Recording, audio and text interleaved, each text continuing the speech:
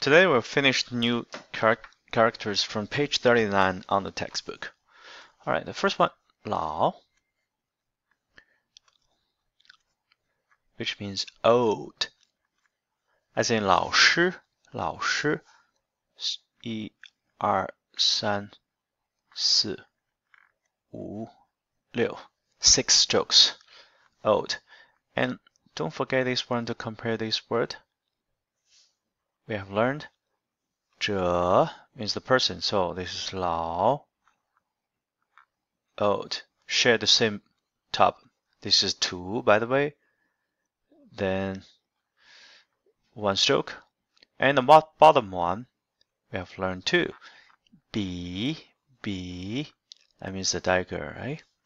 All right, next one. 师, that means the teacher and master. 一二三 四五六 six strokes.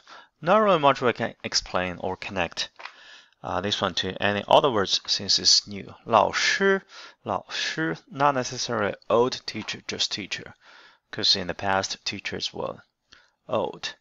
国,国, that means country, country.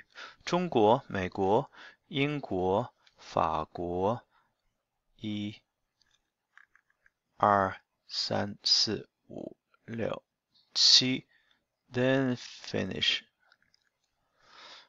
Um, be reminded this is the word Wang King, my last name.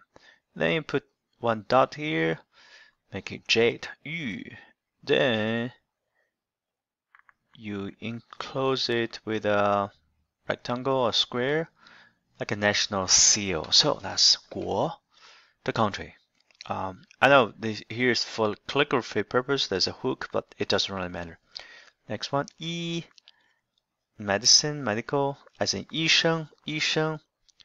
So 生, a person, 学生, person studies, 学生, student, 医生, person practice medical, a medical doctor. So 一二三四五六 and qi seven strokes. Remember the middle part is shi means arrow, but here the meaning was borrowed to mean knowledge. Knowledge. A medical doctor used to be someone who's carrying a bag or a basket full of books and medicine, like herbal medicine, to walk around to see people. So, medical doctors carrying knowledge.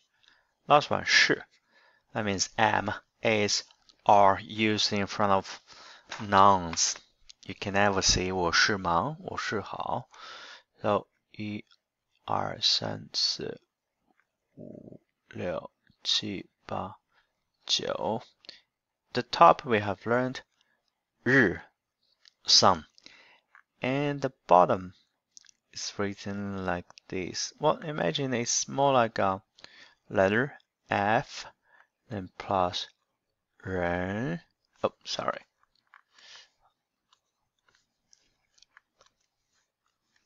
Ren. So you got the bottom one.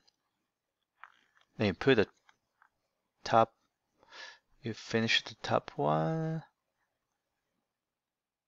That's 是.